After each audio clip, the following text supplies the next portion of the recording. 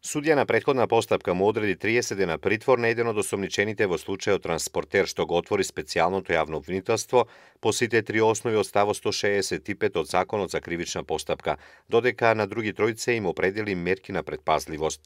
Портпаролот на судот за Тера потврди дека мерката притвор е определена по сите три основи поради опасност од бегство, од влијание на сведоци и поради опасност од повторување на делото.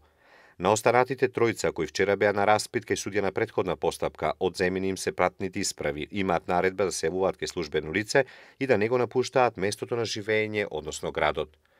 Специјалното јавно обвинителство минатата недела отвори истражна постапка поради основани сомненија за сторена злоупотреба со превозот на ученици во Битола, во која осомничени се вкупно 22 лица. Првоосомничен во случајот е битолскиот градоначалник Талески, против кого не се води постапка, бидејќи е еден од 56 лица кои беа аболицирани од предсатот на државата Ѓорги Иванов.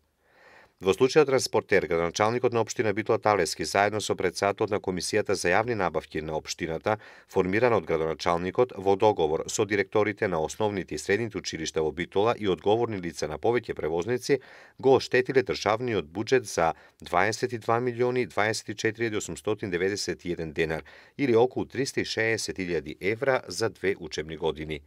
Против 11 лица, специјалното јавно обвинителство поднесе предлог за притвор до основниот суд, а донеси наредба за спроведување истражна постапка против 22 лица, поради основано сомнение дека сториле да злоупотреба на службената положба и овластување, а по однос на граначалникот Владимир Талески не е донесена наредба за спроведување на истражна постапка поради правни пречки, односно помилување од страна на председателот на државата.